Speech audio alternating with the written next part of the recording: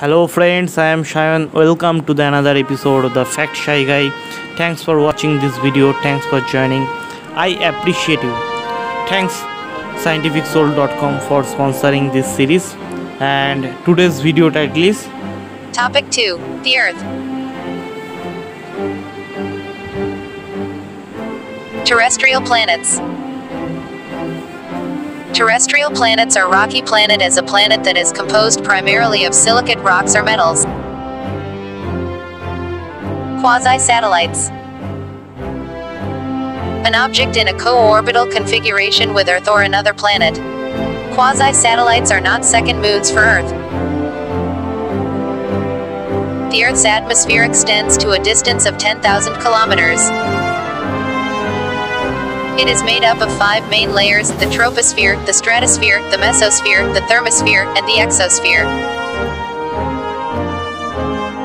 Earth has one moon and two co-orbital satellites, also named quasi-satellites. As you're probably aware, Earth has one moon. But did you know there are two additional asteroids locked into a co-orbital orbits with Earth? They're called quasi-satellites with names 3753 Cruithne and 2002 AA29. The planets closer to the Sun, Mercury and Venus, have shorter years than the Earth. The planets further away from the Sun have longer years.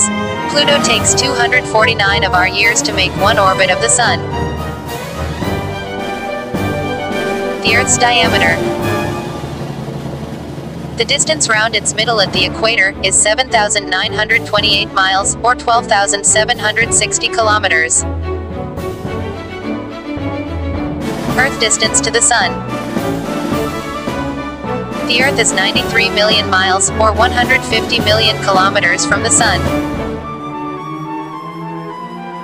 A year on Earth is in 365 days. It's actually 365.2564 days. It's this extra 0.2564 days that creates the need for leap years. The Earth's rotation is gradually slowing. This deceleration is happening almost imperceptibly, at approximately 17 milliseconds per 100 years, although the rate at which it occurs is not perfectly uniform. Earth has a powerful magnetic field. This phenomenon is caused by the nickel-iron core of the planet coupled with its rapid rotation. This field protects the Earth from the effects of solar wind.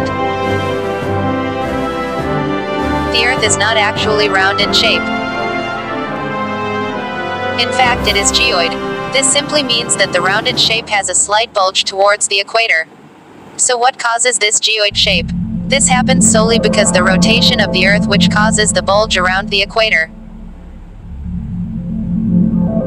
Life on Earth Life has existed on Earth for at least 3.5 of its 4.5 billion year history and is found almost everywhere on the planet. Thanks for watching this video. Please visit thescientificsoul.com. That's all. Jai Hind.